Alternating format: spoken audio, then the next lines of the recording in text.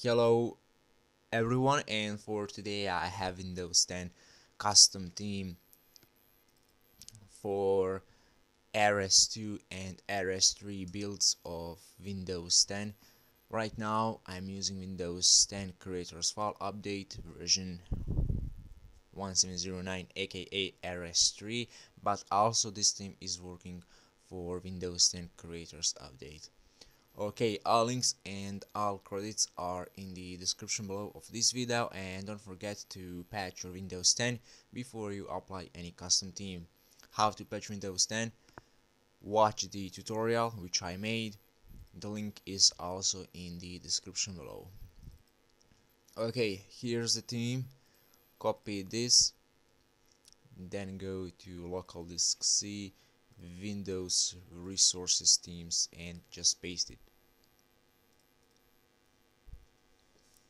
Okay after that go to the personalize themes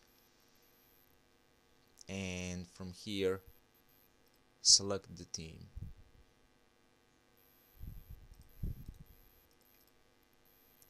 okay here is the theme really cool and really amazing start menu we have. Okay let's see how looks like Windows Explorer. It's not bad it is really cool and the color is not black. It is more gray but the theme is really cool and amazing.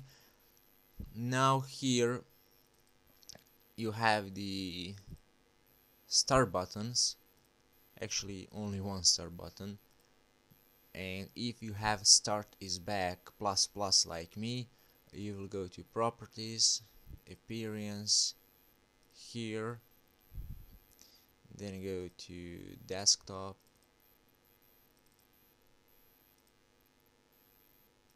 and select the start button apply and then you need to select the start menu from the theme click apply again and that's it. Okay a really cool and really interesting theme for Windows 10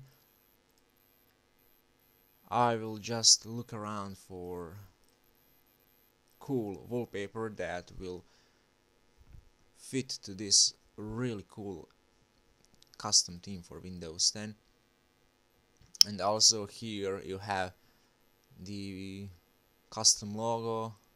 Down here is also logo and on the left side we have cool image. Okay don't forget uh, you need to patch your Windows 10 before you apply any custom theme like I said the tutorial for patching Windows 10 for all versions are in the description below of this video. So thank you for watching this and see you next time. Bye